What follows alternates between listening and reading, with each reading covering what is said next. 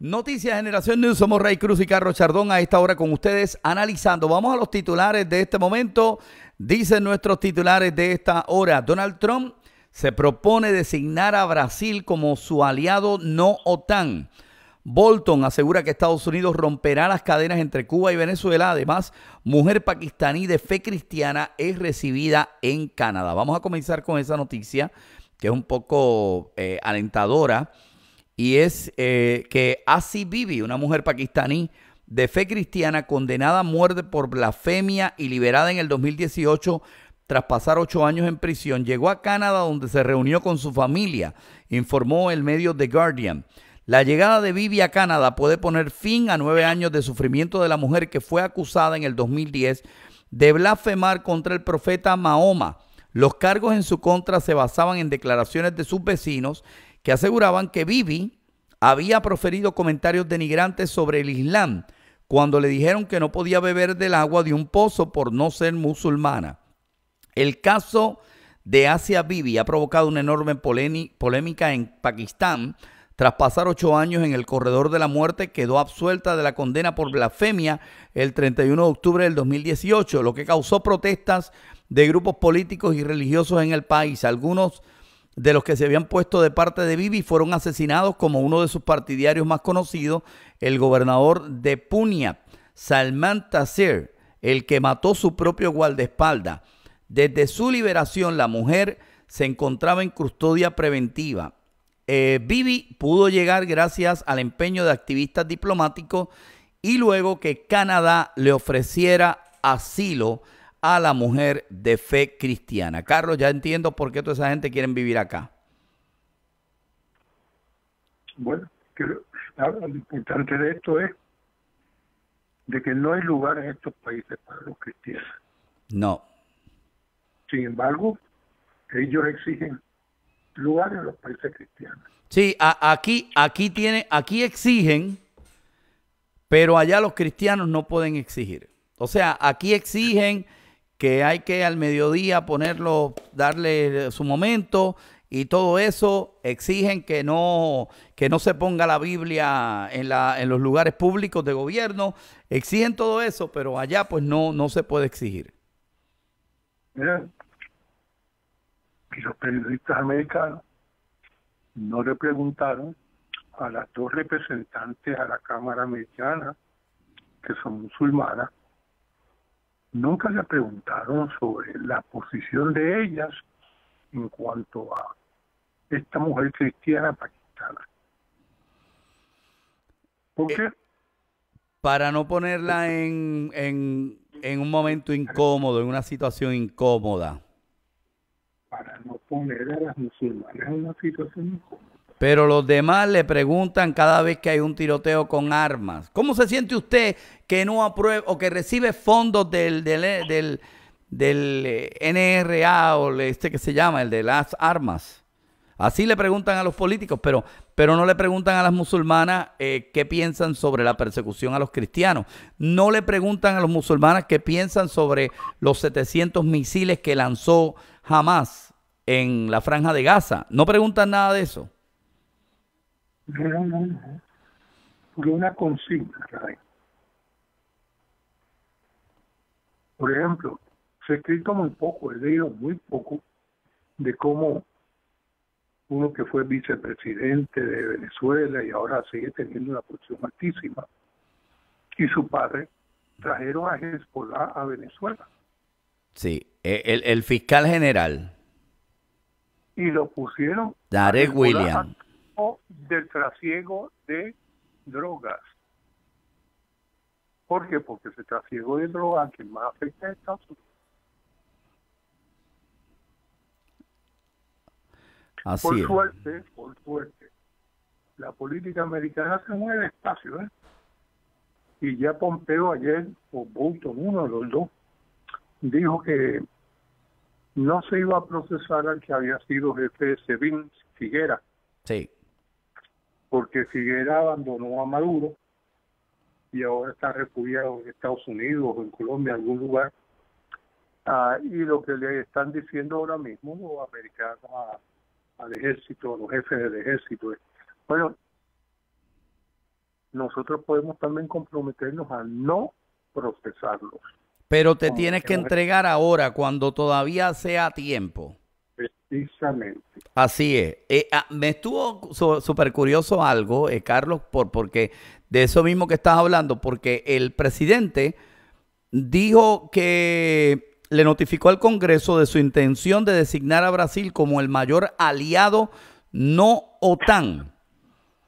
Dice, estoy haciendo esta designación en reconocimiento al reciente compromiso del gobierno de Brasil de aumentar la cooperación en materia de defensa con los Estados Unidos y en reconocimiento de nuestro interés nacional en profundizar nuestra coordinación de defensa con Brasil. Interesante, Carlos, que anteriormente, voy a leer un poco la nota, anteriormente se había hecho designaciones como esta. Obama en el 2012 y 2014 designó a Afganistán y a Túnez. Todos están por allá, por el Medio Oriente. Previo a esto, George Bush a Filipinas, que está por allá también por el Pacífico, Tailandia, Taiwán, Kuwait, Marruecos y Pakistán. Bill Clinton lo hizo con Jordania, Nueva Zelanda y Argentina. Eh, George HW lo hizo con Australia, Corea del Sur, Egipto, Israel y Japón. ¿Por qué un país de Latinoamérica? ¿Por qué el país que es vecino con Venezuela, Colombia y eh, no te está como medio sospechoso eso? Bueno, porque es el país más grande, es el presidente más afín a la filosofía de gobierno de, del presidente Trump y a una persona que simplemente el hombre es igual que Trump. No, no se queda dado. Y cuando tiene que tomar decisión la toma. Pero él pudo haber seleccionado a Israel en este momento, pero está seleccionando a Brasil.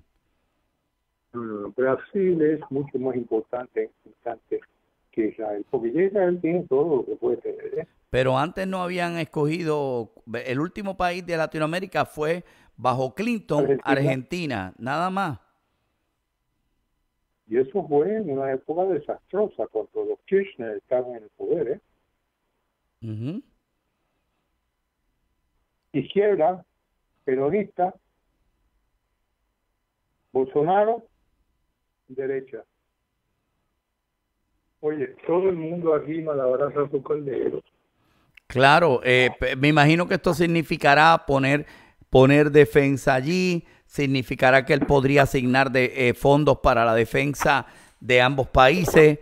Eh, Brasil, Brasil ha dicho que se quiere armar, que quiere prepararse militarmente.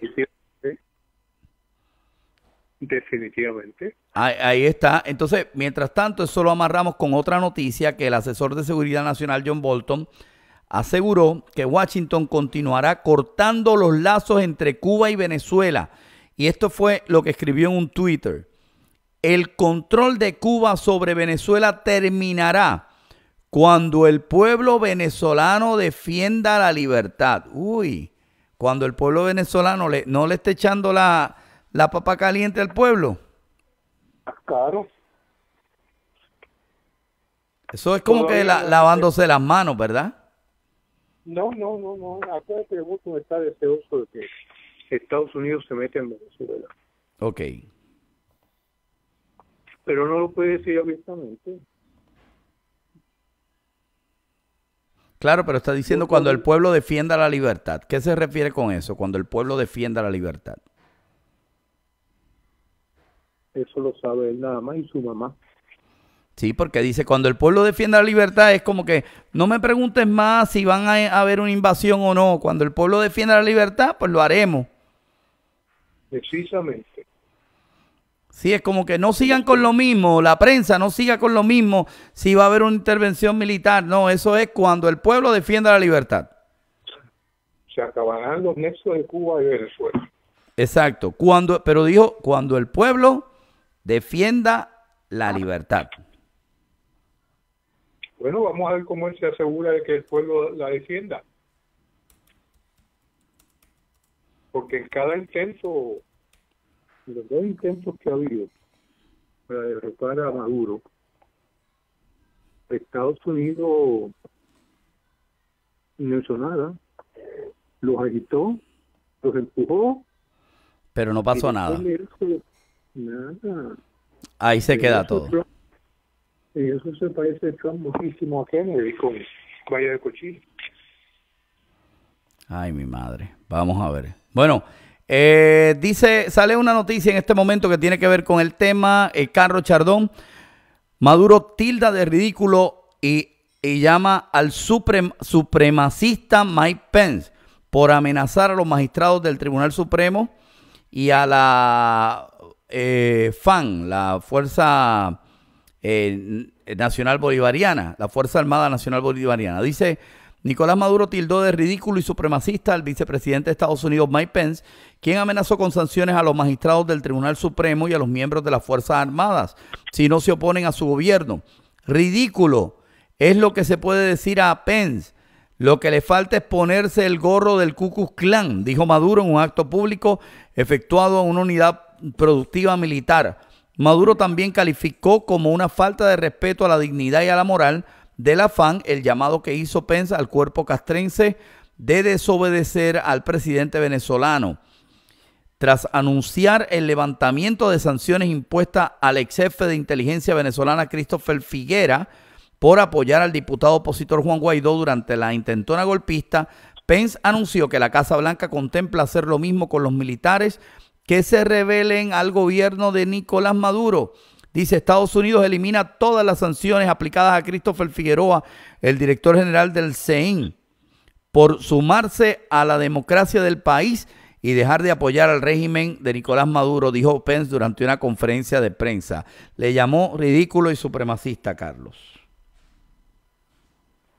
Oye, que mucho adelantó, ¿verdad? ¿Cómo que qué adelantó?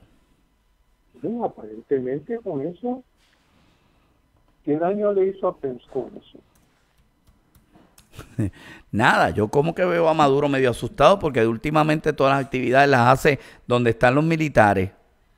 Está como en, como en campaña, Carlos. Precisamente. Eso es lo que yo quería que me dijera. Está en campaña, está, como que tratando de, decir, hey, aquí estoy con ustedes, cuento con ustedes, no me fallen. Esa es la verdad. Esa es la verdad. Así, así lo vi. Acuérdate que en un régimen donde reina el terror, también están asustados los de arriba, ¿eh? No solamente los de abajo, los de arriba están asustados. Y esta es una de las características de los sistemas que se manejan a través del miedo el que genera el miedo también está asustado.